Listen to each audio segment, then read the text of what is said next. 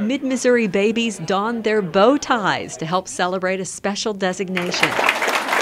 I'm Teresa Snow, and that's our top story for this week's MU Health News Digest. MU Women's and Children's Hospital is now one of just four hospitals in the state to receive the designation from the World Health Organization as baby friendly. But it's about more than just breastfeeding. It's really about creating an environment that's optimal for bonding between a mother, a father, and a baby. They could have said, hey, you know what, nobody else really does this. We can just kind of skate a little bit here. But they said, you know what, this is better for the patients. We believe it in our heart. We believe that this is part of what we're about. Uh, and so we're going to do hard things and we're going to become a standard. Uh, we're going to get this national designation.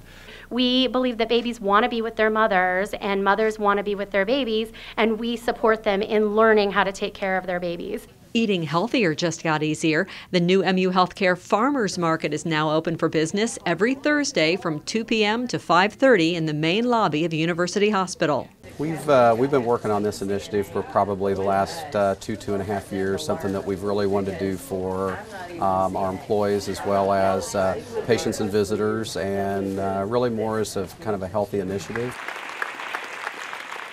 Putting on the white coat for the very first time symbolizes a mark of commitment, but it also means a lot of hard work for these new medical students. They started class this week at the University of Missouri School of Medicine. Uh, my goal is to end up being a patient-centered physician for the people of Missouri. I would love to be a rural doctor. I, it's going to feel like I'm really part of the medical profession, and that's, that's going to be amazing. And that's a look at this week's MU Health News Digest. Thanks for watching.